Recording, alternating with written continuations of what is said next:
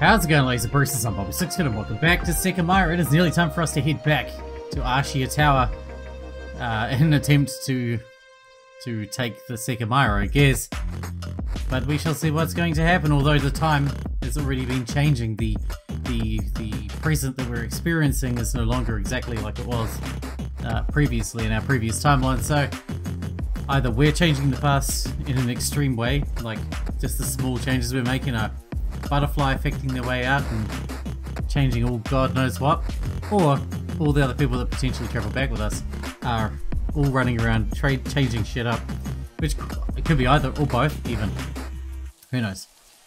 With no snow falling, there'd be hardly any movement outside. A few people had to come to buy the remaining bread, but time seemed to have stilled for a while. I stood up from the chair and informed Darfi that I'd be heading out. Alright, Shiroya, have a good day. It'll be 150 yen. I took out three coins from my wallet and handed them to him. He mirrored my smile, but not the underlying sadness behind it. Goodbye. I'll see you. I walked out of the door and stepped out onto the snow again. You won't be seeing me. I made some distance from Ina, brooding all the while. I had a hard time accepting that it might have been my last visit. I've been slowly walking down Ramon when I stopped myself to stare at a street branching off on the other side. I'd taken that path many times to get to Atsuki's house, so I soon realised I was nervously biting my lip again. I didn't have anywhere to go, in more ways than one. A huge change in history had occurred. I'd never go back to the world I knew. That meant that making sure Atsuki and I couldn't go to the next event had become an even higher priority. It no longer had a downside. I decided the previous day that I'd do it on Thursday, but that was potentially a bad idea. I didn't know when Atsuki would leave his house, and waiting in front of it all day wasn't something I wanted to do. After all, if, he, if it got too late, I'd have to ring the bell and face him. I didn't think I could do that. I only had one job, setting up a future that was perfect for everyone but me, then walking away from it. I couldn't fight that anymore. I crossed the street and walked through the narrow one, arriving at a part of Yushibana I'd always found pretty. That's what makes you a hero, Shiroya. Saving everyone else at the expense of yourself. At other times of the year, you could see the green leaves beneath the snow of the tall trees. The road was still white, but it was almost immaculate. I slowly crossed to the opposite sidewalk. Atsuki's house was there. Before I got too close, a sharp pain in my chest stopped me. Can I really never enter it again? Could I really have been mere minutes away from going in and out of that door for the last time? I really couldn't believe it. I ran up to the gate before that hesitation could take hold of me completely. I looked through the bars, Maxie wasn't in front of the door anymore, but his small paws left imprints in the snow around it. He is here. There was a light behind a curtain. With no guarantee that Atsuki wouldn't see me, I stepped behind a tree. I really didn't want to be seen. If I talked to Atsuki, I was afraid that I would lose any resolve I had. I can't just stay here all day waiting for him to leave. I didn't even know if he will. There was a last resort available. Since I knew where he kept an extra house key, just behind the gate, I could try to enter the house and silently grab me his purse which had been left in the living room. Not now, though.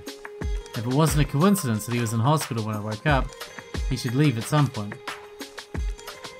Would he leave if I call him from my phone and quickly hang up? I decided against that. That's a good idea, because he'd be like, oh, she woke up. Go to the hospital. Should I just wait here? I crossed back to the other side of the road and surveyed the door from afar.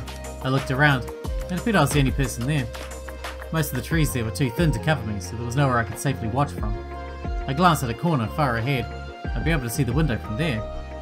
Slightly hesitant, I walked to it and peered at his house, as though, as I'd thought, I'd be able to see him. Leaving, leaving while still being out of sight. There was something a bit worrying that I noticed, however. Was the trail of footprints I'd left. Will he notice the trail going behind the tree? It seemed unlikely he'd think it was suspicious, but he could find me by following them with his eyes. I'll just have to be careful. But no matter what I thought, it was uncomfortable. I couldn't take my eyes off the house and I didn't particularly enjoy the thought of spending my last real day in Yushibana spying on Atsuki. I need to do it though. I hid myself and leaned against the dark, cold wall. I recognised what I was looking at. I'd seen that very street the previous day when I'd been following Isla. That's right. There's no reason not to do the same with Isla, since I might know where she lives as well. Leaving Enric behind, I walked until a crossing street turned to the right.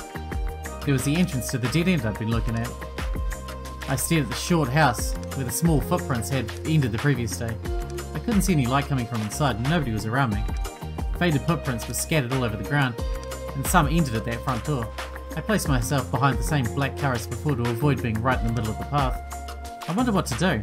Changing the path no longer felt like an obstacle, so I was free to decide on anything. Isla should be at school, but I don't know about Edina, and I don't know if anyone else lives here. How the hell can I take their tickets for the event when I don't even know where they're keeping them? I considered two important facts. In the attic, Edina had implied they'd bought the tickets pretty early. That meant they were likely to have already had them. Secondly, before locking ourselves in the bedroom, everyone's possessions had been looked at. While tickets of the event had been found on almost everyone who'd been a visitor, none had been in Edina's purse. They were probably inside Isla's then. Could they already be there? The pressure of being in a crucial moment was getting to me. I stepped out and slowly approached the door. If Edina and Isla didn't go to the tower, different people would. It was very likely that as long as Ashiya had the Sekimeiya, people would get trapped in that building. However, Isla's fate could be averted. And I could change the past. When I was in front of the door, I stared at the tiny white bell at its side. Edina and Isla don't know me. I could just press it. But what about Isla's friend? What was the truth behind that? Is someone else really living here with them? My arm reached out and touched the cold doorbell almost unconsciously, like it was another organism. But really, what should I say? I suppose that'll vary depending on who opens the door. I'd see no light inside, so maybe nobody would. I firmly rang the doorbell.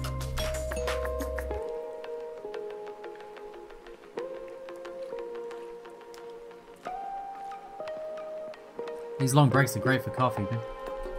Is there actually nobody here? A day earlier, the small footprints had ended at the door, and it was close to the same time of the day that it had been. Hmm. I suspected I knew what the reason was. Isla, are you here? It's me, Shiroya. There was no reply. Is she out again? I wondered about it already, but my intention was to take the tickets from Edina and Isla. If I did that, Isla couldn't travel to the past, so perhaps, as it had already been deemed impossible, her friend no longer existed. But I'd seen her from the cafe during school hours. That must have been an Isla who travelled from the future. Why had she been out of her house? I figured she wouldn't have wanted to show herself anywhere, which is why she wasn't opening the door. Isla, are you here? I knocked on the door lightly, but it didn't seem like I'd be answered. The mystery behind Isla's friend was nowhere near solved. If the real identity was an Isla who'd come from the future, why hadn't she prevented herself from going to the event? My intention was to do just that, so my unease grew. Plenty of things about Isla had been questionable when looking back at it, but the voice recorder and her friend's existence were the biggest ones. I'd been standing there for a while and nothing had changed. Part of me wanted to give up, but the idea of her friend purposely not opening the door was one I didn't like at all. Suddenly the door opened wide and I saw the dark interior. There was nobody there. I simply tried to open the door and succeeded. It was unlocked. I grabbed the handle to make some noise, and I'd accidentally pushed forward. I didn't move. I kept staring inside until I was sure it was vacant. Then, I lightly pushed on the door a bit more and took a step, careful step in. I scanned the area and immediately noticed a wide assortment of items on the ground. Toys, dolls, colouring books and markers. In the corner was a pile of laundry, and the walls had a few faded scribbles on them, as if someone had tried to wash them away. There were also pictures of a child at various stages of growth, and her mother was occasionally in the shop with her. I opened the entryway closet in search of the purse that was fought, faced with a few women's and girls' jackets. Scattered in the closet were clothes you wouldn't typically see when visiting someone's house. An apron with the name of a local restaurant, a uniform for a factory worker, and a cap branded with the logo of the convenience store. I didn't have to search for long. Right inside was the purse Isla had been wearing. She's got disguises in there? Is Edina part of Shin then? Her closet is full of disguises. Seems sus, man. Without hesitation, I looked inside. The most important issue was resolved immediately. The recorder wasn't there. I saw a pack of tissues and small sunglasses, but no tickets either. Wait, this is strange. When we found the recorder, I looked at this purse and the tickets weren't there either. Were they in Isla's pockets? I felt a sudden chill and looked at my sides. Nobody was there, but that in itself was very strange. Why is this purse here? Yesterday, the reason why I recognised Isla was precisely because she was wearing this purse outside. If she's outside right now, why is her purse here? There was some kind of creeping unknown dread at my back, but I immediately rationalised, and rationalised it away. The person I saw yesterday was likely Isla's friend. She was wearing her purse, and she isn't here right now. then this purse belongs to the original Isla who was at school. If that's it, this makes a lot of sense. But why is the door unlocked? Was it a normal thing for them? And why would the other Isla be going anywhere during the day? I always leave my door unlocked. Like literally, every time I go out, I just I don't bother. I don't even know where my house keys are. the chance to take their tickets was there. Instead of focusing on specifics, I just had to take that simple action. And when I let go of the purse, I noticed I'd missed a lower pocket. I unzipped it and narrowed my eyes. All I saw were two folded pieces of paper that I easily recognized.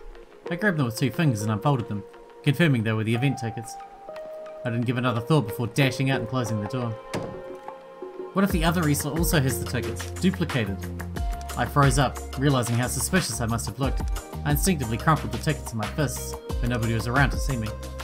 I breathed deeply and began to walk away, calm and nonchalant. I prevented it. I wasn't in my world anymore, but Isla wouldn't die. What would happen with Isla? If two versions of her really existed, then it seemed to both permanently persist in a single reality. However, I'd already decided that one was the better option, so I just put her in the same situation as me. Soon made it to the Enric Avenue. From the same corner, I saw light behind Atsuki's window. I stared at it for a bit, but I gave up after a short while. I just wanted to go home and wait for tomorrow to come. I'd always liked walking through the street, but I turned around and moved to Ramon as I stepped through the thin, parallel path. Tomorrow, I'll definitely have to take out tickets, no matter how.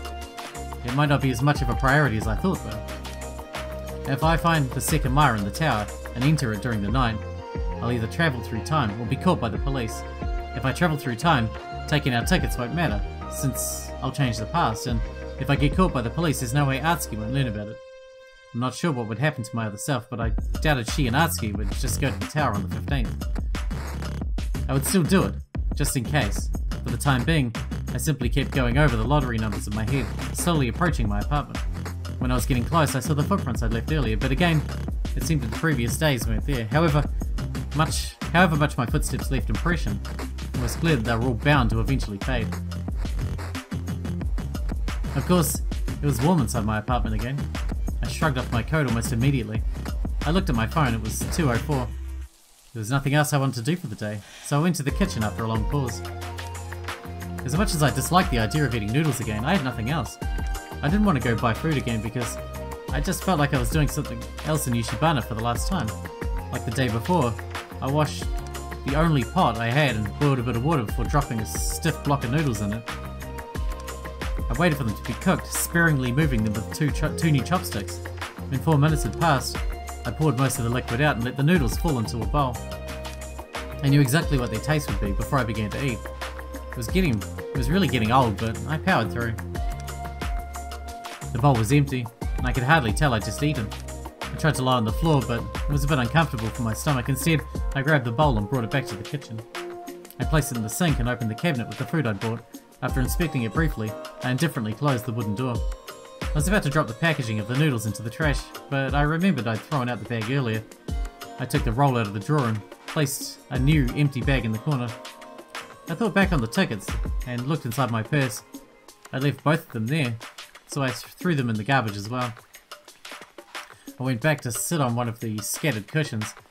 As much as I felt incredibly overwhelmed, I was out of things to think about. Eventually I dropped on the floor and mindlessly let time pass.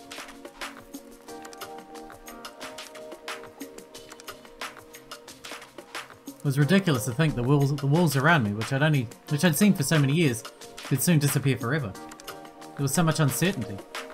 No matter what awaited, my future was going to be miserable. Every scenario led to roughly the same thing. How was it going to be anything better than terrible? I would either get caught by the police or have to keep living with sketchy money I wasn't even sure I knew how to obtain. I have no proper identity, and no idea how to get a new one, or how to do anything else. There's no way this will work, and the other version of me will live her life completely clueless, maybe until she finds out she was arrested somewhere.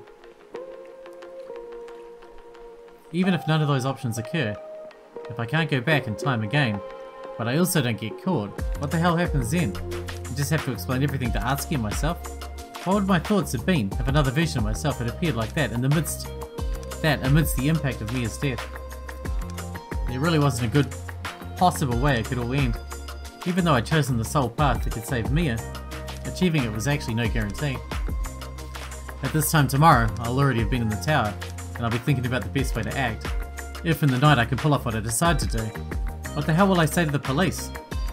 They'll immediately realise another me is in the hospital. I wonder what would happen if I revealed what the Sekimeiya can do. They'd have to believe me due to my existence. And then what? Would they let me go with no real identity of my own? Would the Sekimeiya be kept a secret? If so, there's no chance I'll be able to live anything akin to a normal life. Honestly, maybe getting caught by the police would be better. Or if I'm able to save Mia, I could reveal myself and then decide what to do. Yeah, they might, if they believe you, which they probably have to, they could just give you a new identity. I realised I just thought that and pitied myself. I've been feeling sporadic senses of liberty the past few days after being shut away for so long. So, that I'd seen an outcome deprived of any freedom was acceptable, was just disheartening. It was undoubtedly absurd that I'd held off from going to the tower for so long. My hesitation could have doomed me at any point. I was just selfish. I wanted those tranquil days to continue despite knowing that they couldn't. Being in my living room was proof enough of that. It appeared to just be misfortune, that what I wanted was the single thing that definitely couldn't happen. Ironically, there was no going back. The important decision had already been made, and I was only stalling out the clock. My mind hadn't changed, and if I went back to the time I decided, the result wouldn't differ. It had been clear from the beginning that there'd be a no win-win situation. However, even if I did change my mind, it likely wouldn't matter. It wasn't possible to go back to my old world, not even with the Sekimeiya. If I travelled days through time, I wouldn't have been able to let everything play out as it had once, as it had once anymore. There were people who travelled from the 15th and had changed history. In the blink of an eye, the world I'd always lived in had distance, distance from me so much that it was no longer reachable. So with no room for doubt, attempting to save Mia was what I had to do. I needed to figure out a way to travel days through time once more and save her. If I took the Sekimeiya before November 27th, that'd be the best I could do, and then, after that would come a new decision, almost as important as the last.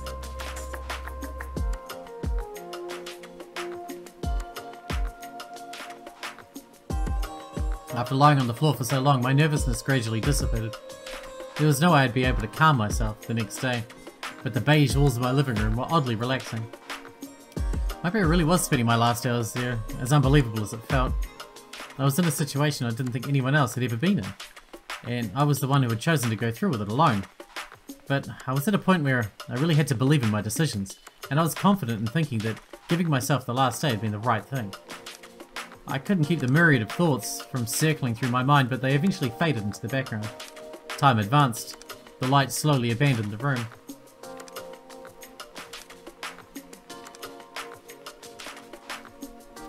What the hell was I thinking? I had to keep so many things in mind that I couldn't really be surprised I'd made such a large oversight. I took Isla and Edina's tickets to prevent them from going to the tower on the 15th. It sounded like a good idea because they could have sold out quickly. I completely ignored that they could simply print them out again. I don't think they'd have to buy new ones. I sighed, exasperated.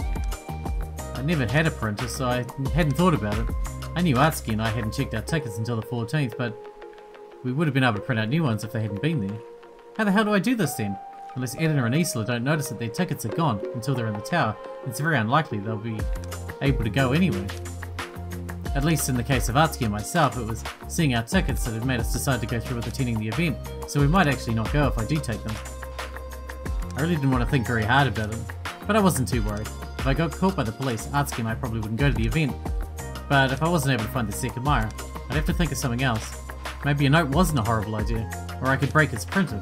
There had to be at least one way to stop Atsuki and me from going. And Edina and Isla, if I'm not able to travel, I could just try to talk to them again, but I'm not sure what I'd say. I wonder if they'd accuse me of having stolen their tickets if I suddenly show up warning them not to go. I'll think about that tomorrow, after getting inside the tower. I hadn't moved in so long and I'd begun to feel tired. The sun was setting, so my body was requesting that I sleep at the same time I'd gotten accustomed to. Must be nice. But it seemed laughable to think I would be able to fall asleep. I could try to quell the onslaught of my thoughts, but there was no getting rid of them. I can't sleep until 4am, no matter what. I can get up at 7 o'clock in the morning, still can't go to sleep till 4am. It's insane. I mean, it's literally midnight right now. Once again, the same sharp pain hit me when I thought that it could have been my last night in, my, in that apartment. If I managed to go back in time the next day, it really was possible I'd never rest in my bed again. I already thought of this, but I shouldn't take it lightly. How exactly am I going to get in the tower tomorrow night? If I'm getting tired at this time. I'd enter the tower with a plan in mind. Such a plan could entail trying to spend 12 hours there, or rushing out of the building with the Sekimeiya. While I wasn't sure yet, I didn't want to blow it due to a lack of sleep, and simply drinking coffee to stay awake had backfired numerous times. I thought of placing the clothes I'd washed into the wardrobe, but I just couldn't bring myself to do it. There was nothing I could do but keep lying down, awaiting the time where I'd force myself into bed. But a while later, that time hadn't come. While I was tired, I couldn't manage to stand up, as that would mean finally abandoning the life I had. If I stayed on the floor, it would mean the last night in my bed had already happened, and for some reason I preferred that.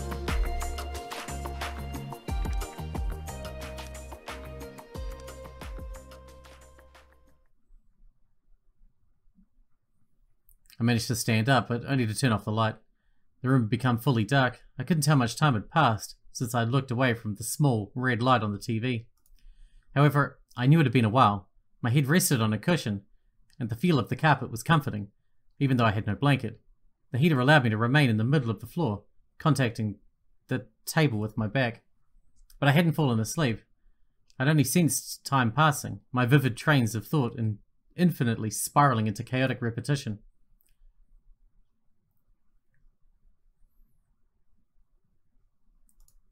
That became mentally exhausting. I just wanted to fall asleep, it didn't seem like it would ever happen. The absolute silence had persisted for what must have been hours. At one point I realized that I'd fallen asleep just for my awareness to instantly blink back in. That might have happened a few more times, however, I still felt as if I'd been awake the whole time, desperately trying to lose consciousness.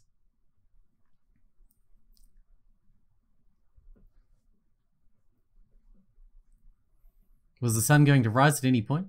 I had to go to the tower in the morning so that I had enough time to, until the next night. I thought of setting an alarm, but I could, couldn't briefly sleep and be drowsy on such an important day. I'd been thinking about grabbing my phone for a while until I finally extended my arm and felt around the surface of the table. I dragged my phone toward me and shut my eyes tightly as I flipped it open. Soft blue light soaked through my eyelids, prompting me to raise them. Then, I stared at the upper corner and waited for my blurry vision to fade. 523. It's so late. Next to the numbers, I saw the words, no service. Huh? I didn't think I'd seen them before, but I closed my phone to combat an abrupt headache. After that, I dropped my head back to the pillow, starting to seriously worry. There was no way I'd be in time for the event that would start in four hours. At least, that wasn't too important, but I didn't feel like I would ever sleep, ever fall asleep. When I had to, when I had, I'd immediately reawakened. And once I'd seen the light of my phone, I couldn't get it out of my mind. The entrance fee on the 15th had been pretty expensive. I believed I had enough money in my wallet, but if not, I still had the option of buying a normal visit. I rolled onto my back. Being there, there was getting unbearable. Most of my stress had faded a long while ago, but that still hadn't been enough to fall asleep. The impression that I was wasting any of my time was intrusive. I finally sat up and noticed that I really wasn't tired. After a short time, my constricting headache started to fade. I grabbed my phone again. It was 5.30. On the 15th, we'd gone to the tower during the night because we hadn't been able to fall asleep. It was still very early though. If I go before sleeping, I could come back later and rest until the afternoon. If I had to, spend a long time in the tower the next night, that'd help me not be exhausted. It was doubtful I'd be able to sleep after coming back, when I'd finally be aware of the crucial details I needed. But since it was likely Atsuki wouldn't be at home late in the day, I didn't think it was a terrible idea. There was no way I'd be able to lie back down again after sitting up, let alone sleep. I'd been on that carpet for so many hours. I was still a bit dizzy, but I managed to carefully stand in the darkness and step out of the room. More than three hours remained until nine o'clock, when the tower's halls would open to the public. On the 15th, though. Atsuki and I had been in the lobby since much earlier. It might have been a bad idea, but I grabbed my coat and stepped into the pair of boots on the floor. I gripped the door and slowly pushed it open.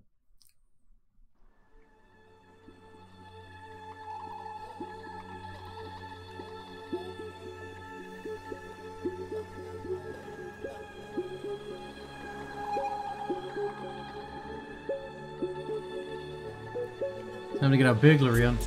The air was frigid as usual, but I couldn't feel any wind. A multitude of stars filled the dark sky, unmatched by a row of streetlights across the closest walkway. Not a soul could be seen, and the imposing atmosphere made me reconsider going out so early. I stepped forward, the snow stiff beneath my feet. I couldn't make out that layer of white anywhere but directly underneath the lights. I had my purse with me, so I closed the door and descended the stairs, purposefully avoiding the frozen handrail. I looked in the direction of the tower, however for once I couldn't see it. There was no chance I'd get lost, so I started to walk toward where it should have been. As the tower was on the outskirts, the streetlights soon ceased, making me hug the walls to know where I was. It wasn't very far, and despite the eerie scenery, I was glad I'd left my apartment. I had to be in the tower in the morning, and I knew its entrance opened far before 9 o'clock. A receptionist had been there when we'd arrived, so I could try to buy tickets for the event and think about questions I wanted to ask. I kept walking, hoping I was getting closer. I could hardly see anything a few steps ahead, and as all lights had disappeared, I had to confirm the sensation of movement by looking at the ground. I started to see more of the round light bulbs in the distance. I knew what it meant. That was the plaza in front of Ashiya Tower. I got closer and closer until I started to perceive the light, light's quiet buzz. Then, I followed the path with my eyes, ending where the tower should have been. There it was, the immense building in the form of a huge shadow that covered the many stars behind it. I slowly got closer to it, interspersing the hum of lights with sharp steps.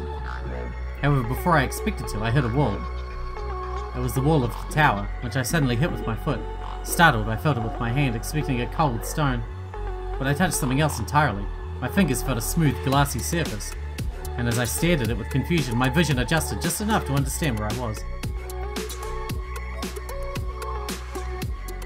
It was the door. No thick shutter was there either, as I could recognize the floor of the lobby a step beyond the glass. I wondered to myself why I'd been surprised and immediately concluded that it was because there was no light. I suddenly hit the glass with no warning, since the lights behind it weren't turned on. Instead of putting my hand back in my pocket, I grabbed, my, grabbed the phone. The screen displayed 548, then I hesitantly gripped the handle of the door and tried to open it. Like it seemed, it was locked. I stepped back carefully, trying to get a feel for my surroundings. And all I determined was that I was completely alone. On the 15th, that door had been highlighted by the warm light behind it, and we'd entered it at 6 o'clock. The time was very close, and I began to wonder whether that had been a special occasion. Maybe they'd anticipated some people would come very early, and that was why the tower had been open at 6 o'clock. Over three hours were left until 9 o'clock. When would the entrance open? I had no way to know how much I'd have to wait. I leaned on the icy metal of a nearby streetlight, the cold penetrating my back. The light made my misty breath visible, emphasizing the harsh cold even further. Without a doubt, I wouldn't be able to stay there for long. I didn't take my eyes off the entrance, but I could hardly see it from where I moved to. As I waited outside, I knew people must have been behind the wall. At the very least, I knew someone was in the security room, waiting for a sudden attack that could have come at any moment. I stood, covering my neck as much as I could. The ring of lights let me see slightly ahead in every direction, but past them there was only darkness. I figured something had to happen soon, but even if I wanted to, I didn't feel capable of turning back. If I moved again, I wouldn't be able to withstand the temperature, and figure fatigue. Physical fatigue was beginning to set back in.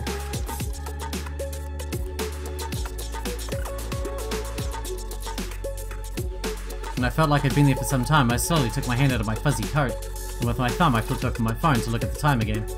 6.03. It had only been a few minutes and the words no service is still there. I also looked at my phone on the 15th before we'd been asked to leave them behind with the guards by 6.03 who'd already been allowed to step in. How much longer do I have to be here? Is the town not going to open until 9? I was still staring at the building. Any moment the light behind the glass could turn on. Maybe someone could come and unlock it from the outside. There was no way it would remain closed for three more hours. Without the need to look at my phone, I knew the time was passing very slowly. The few minutes I'd been there had already felt much longer. But at the same time, they'd passed very quickly. Had I really been there for more than 20 minutes? It might have been the cold, but I felt as if even my mind had frozen through. A complete opposite from the spiraling mess it had been at home. I wanted to close my eyes and slowly sit on the ground. Everything around me was dark enough that it wouldn't have made much difference, and almost felt like my body was gradually sliding down the streetlight anyway. I'd hoped I was retaining enough of my scarce strength to be able to walk into the building when the time came.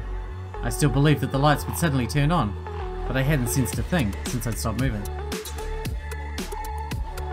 When I looked at the time again, it was 6.28. Once more, it seemed as if the last half hour had happened in an instant, while the next one would last an eternity. Why was nothing happening? Even though it was so early, why was I alone? On the 15th, the group of people waiting for the event had begun hours before it started. Had that never been the case before? Even so, when would the door open? It was horrible not knowing how long I'd have to be there for. The woman who was at the reception desk should have come at any time. She was here so early, and so were the guards. Oh, Katai too. He said he'd been taking the daily sh da daily shifts recently. Uh, did he say when he started it?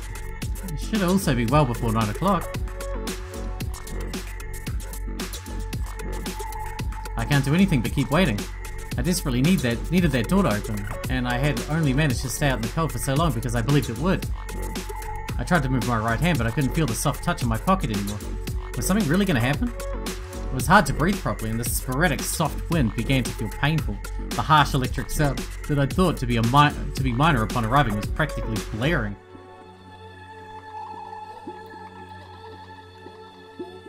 And with that, we should wrap this episode up here because we're out of time for today, but we are finally doing it. We're in action. It's time to get in here and uh, get our hands on the Sekimeiya and see if that see if that uh, storeroom door is open.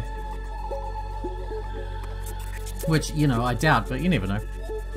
Anyway, hope you guys enjoyed it. Thanks for watching. Thanks for hanging out with me, and I'll see you in the next one.